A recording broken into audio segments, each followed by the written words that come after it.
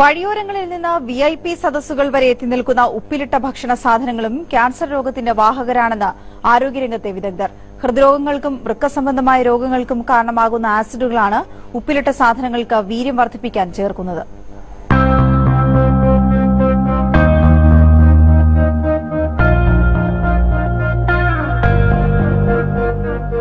നാട്ടിൻപുറങ്ങളിലെ തട്ടിക്കൂട്ടുകടകളിലെ നാരങ്ങ മിഠായിട്ട കുപ്പിഭരണിക്ക് സമീപം മാത്രമാണ് നാം ഇതുവരെ ഉപ്പിലിട്ടവ കണ്ടെത്തിയിരുന്നത്.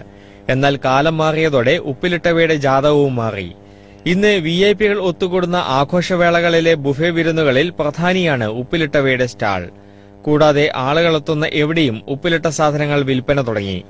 ഉപ്പും മുളകും മാത്രമല്ല ഇവയിലെ ചേരുവകൾ.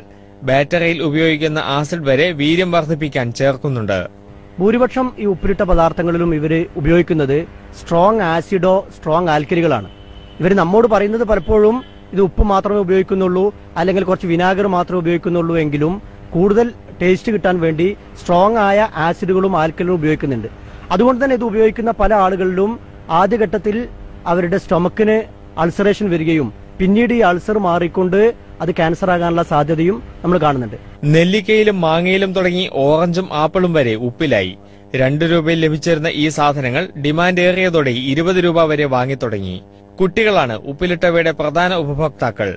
നോമ്പുകാലങ്ങളിലും ഉപ്പിലിട്ടവയ്ക്ക് പ്രിയം വർദ്ധിക്കും. മാങ്ങ നെല്ലിക്ക കൈതച്ചക്ക ക്യാപ്സിക്കം കക്കരിക്ക ക്യാരറ്റ് ബീട്രൂട്ട് അമ്പഴങ്ങ സബർജല്ലി പപ്പായ പേരയ്ക്ക പച്ചമുളക്. കടിച്ചാൽ തിരിച്ചു കടിക്കാത്ത എന്തിനേയും ഉപ്പിലിട്ട് വിൽക്കുന്ന കാലം. സൂക്ഷിക്കുക നിങ്ങളെ കാത്തിരിക്കുന്നത് മാരകമായ രോഗങ്ങൾ. ക്യാമറമാൻ വി വി ജയരാജനൊപ്പം അഭിലാഷ് പിജോൺ മനോരമ ന്യൂസ് കണ്ണൂർ.